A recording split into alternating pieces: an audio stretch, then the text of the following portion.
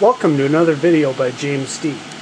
Today I will be running 3DMark06 with a PhysX card and then doing driver sweeper yada da da taking off the PhysX card doing another run of 3DMark06 then comparing the scores.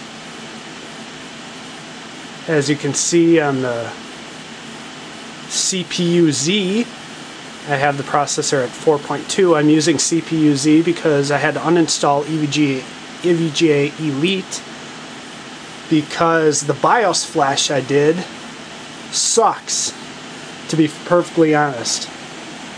If you have my board, the EVGA X58 SLI LE, stay away from S817 like it has swine flu. It's not a good BIOS update. Just stick with your original and all should be golden.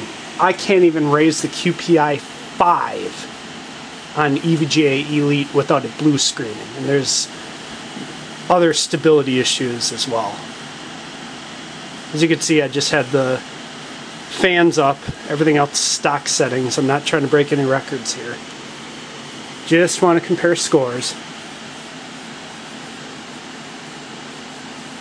As you can see, I have six gigs out. I've got Spy Sweeper shut down.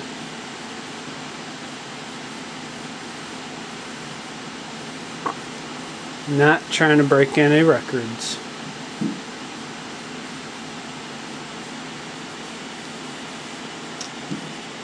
I'm really kind of surprised that the BIOS was as bad as it is. I mean, nobody's perfect, but it wouldn't be so horrible if EVGA at least had the original BIOS on the on the website so that I could revert back. But I must have gone through three discs trying to find the right ISO image for the original. Anyways. There's my rant. You can heat it if you want to if you've got this motherboard.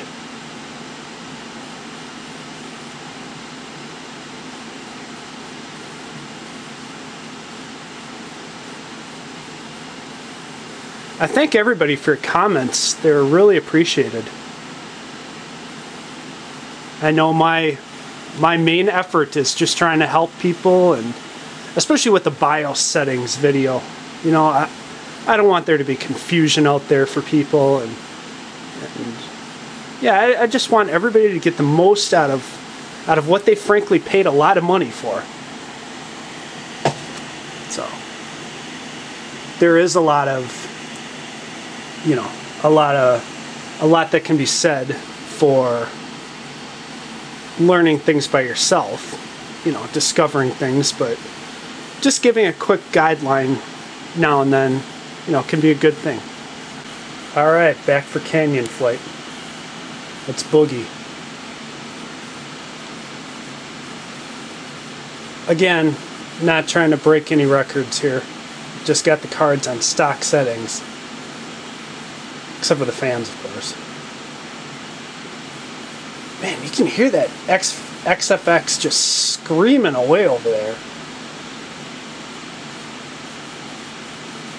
I don't know how people lived with. If you had SLI of that, oh. How would you hear your game?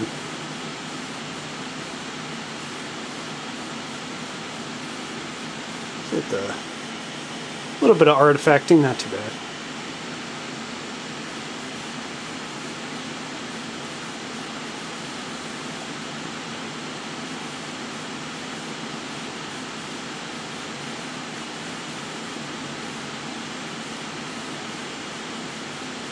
This is where I wish I had that E-Leet software. Could at least see it on the keyboard.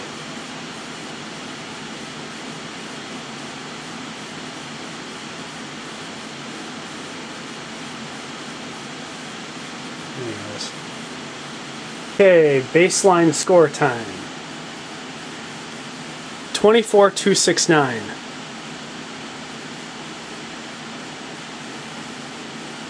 Okay, so that's with the PhysX card. Now, what I'm going to do, let's see, settings. Now what I'm going to do, I'm going to run driver sweeper, take the card out, and then come back, reinstall drivers, and we'll run the test again, and we'll see what kind of scores we can get. Alright, be back for part two. Later.